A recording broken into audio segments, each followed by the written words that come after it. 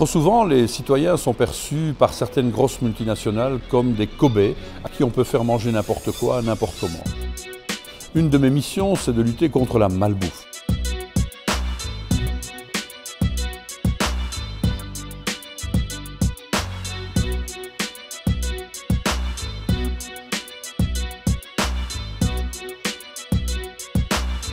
Je suis l'auteur d'une législation qui permet aujourd'hui une distribution simple et gratuite de fruits, de légumes et de lait dans les écoles de l'Union. 30 millions d'écoliers dans plus de 200 000 écoles sont concernés par cette mesure.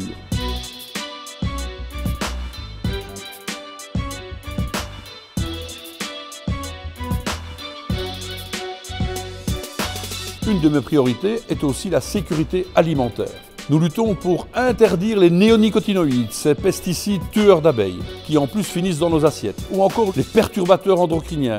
L'alimentation, ce sont des centaines de millions de consommateurs et des millions d'emplois. La sécurité alimentaire est un devoir d'intérêt général.